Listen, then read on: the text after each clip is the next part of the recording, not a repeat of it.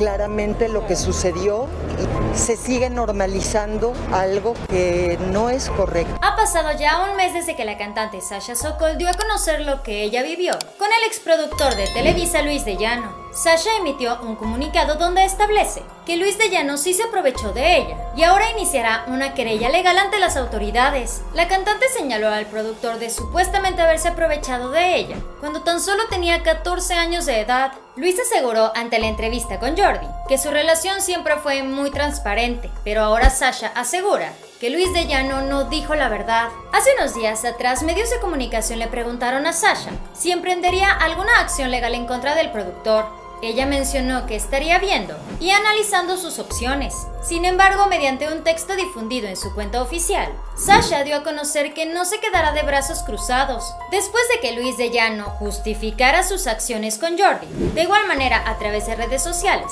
Sasha sorprendió a todos al hablar nuevamente de este tema, donde establece que las circunstancias no le dejan alternativa. El primer mensaje de la cantante dice así: Luis miente al querer involucrar a mis padres diciendo que la relación fue transparente. Nada está más lejos de la verdad. ¿Transparencia? ¿Es en serio? En este comunicado, Sasha Sokol señala la insistencia de que Luis de Llano sí se aprovechó de ella. Ella lo señala de supuestamente no decir la verdad sobre el supuesto consentimiento de los padres de Sasha, conforme a la relación que tuvieron, mientras ambos trabajaban en Timbiriche. Otro de los tweets de Sasha dice así.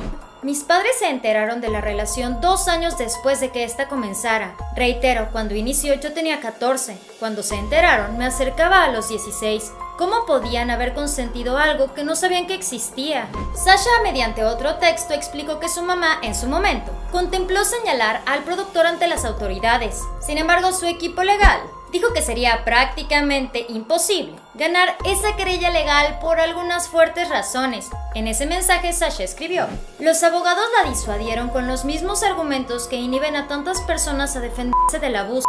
Falta de legislación adecuada, estigmatización, miedo, vergüenza.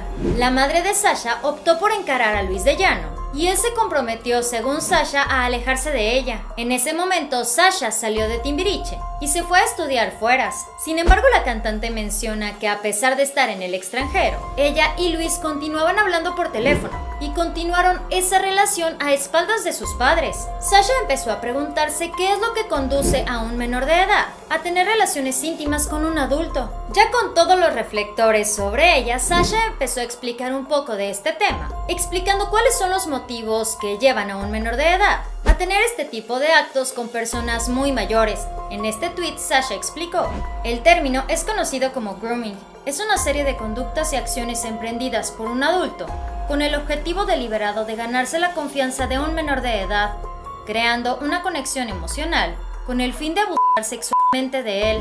Con sus propias palabras, Sasha también explicó que en aquellos años Luis era una persona muy poderosa y muy admirada. Por lo tanto, le hizo la pregunta a su público, que si acaso se imaginaban lo que podía sentir una menor de edad, recibiendo la atención de una persona así. Ya para finalizar con esta serie de tweets, ahora sí Sasha se dirigió completa y totalmente hacia Luis de Llano, diciendo lo siguiente, lo que yo hice al compartir la verdad no fue con la intención de lapidar a Luis, a él lo lapidan sus actos.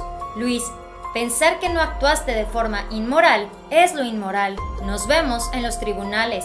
Esto fue Famosos de cerca. Dale like a este video, suscríbete y síguenos en Facebook. Espero que tengas un excelente día. Nos vemos muy pronto. Bye.